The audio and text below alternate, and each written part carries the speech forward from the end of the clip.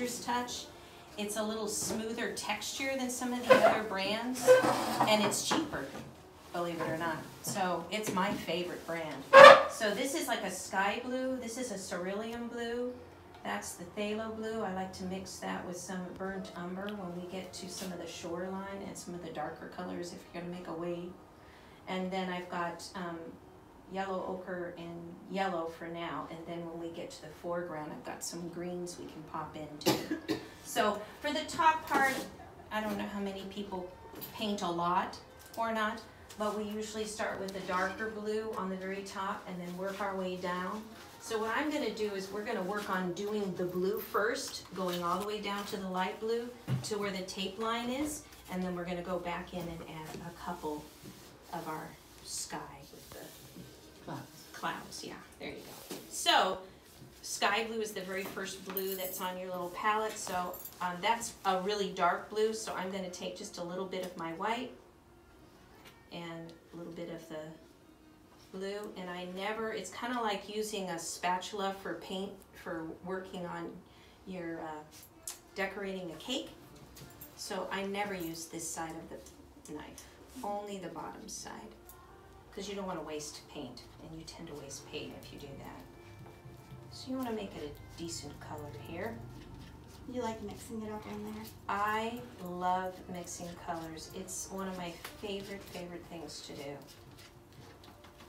And I learned this too also from the teachers that I've taken that are so amazing. So then I'm gonna use, I'm gonna get a little bit lighter blue going. I like having two colors on my palette ready. And then, once you get it, I wait. I go way too fast. No. But you, you like the dark on the top. Yep, so this is what I'll do then, is start up here. Don't be afraid, it's kinda like doing spackle.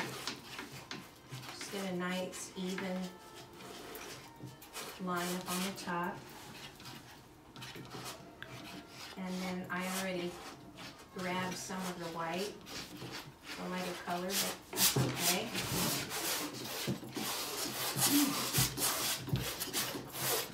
And for those of you that have the, these guys, just make, yeah, just make sure you hold it, because it's not as steady.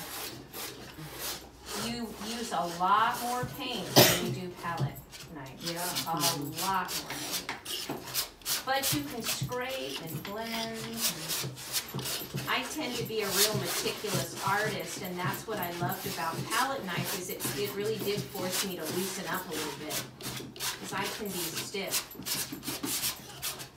As my husband tells me, loosen up, honey, loosen up.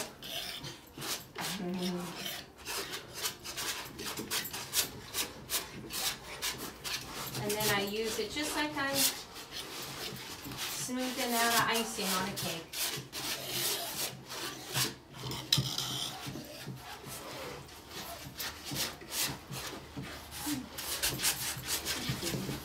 And then you can start adding your lighter blue as you move down on the canvas. And you can blend it right on the canvas too, which is fun. I like how that blends on canvas. Uh-huh. Cool. Really It fun. gives you some pretty colors. And right now, if I were doing acrylic, it'd be dry on the top. Right. And that's what, oh, I don't like that. I don't want it to be dry. So there's advantages to both mediums for sure.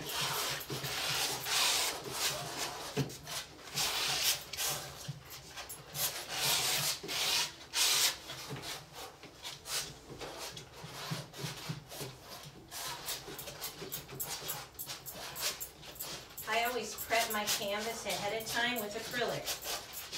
And I use whatever color is predominantly the base of the painting. So in this case, I use the blue. Okay, so we're painting over acrylic. Uh-huh. Okay. And you can do that with oils, like if I have a really big, huge paint, painting that I've done, I'll map it out with acrylic. And then I can go right into my painting with the oils.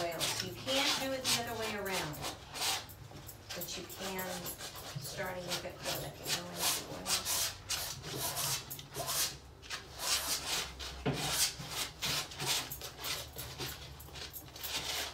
It's like playing with spackles. I, it is. I can, that's the closest thing I can get it to because I've never done this before. so- But I've done that.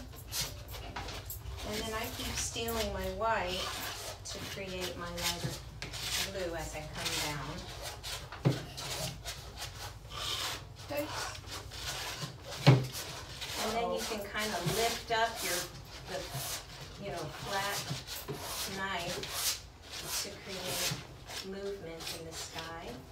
And Well, you can also same make time. clouds at this point. You can, Yeah, which I like how they're absolutely.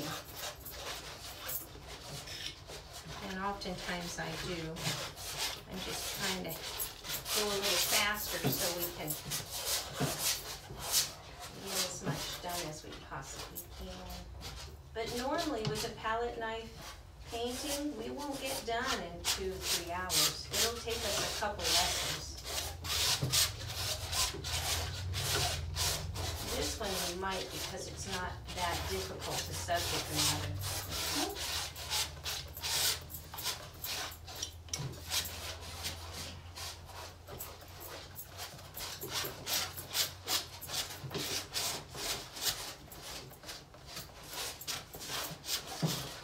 The other reason why I like prepping my canvas is when you're working with knife, it's very easy to miss a few spots and you'll see like the canvas kind of peeking through and it'll yellow over time. So that's why I put a layer of acrylic underneath and then I don't have to worry about that. I'm making a mess here. Yeah, see, Me too, I made a mess. that's I've got, I've got